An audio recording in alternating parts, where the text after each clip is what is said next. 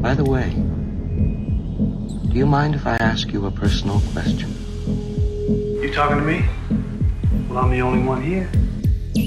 Oedipus was a Greek king who killed his father and married his mother. Fucking Greece. Every man dies.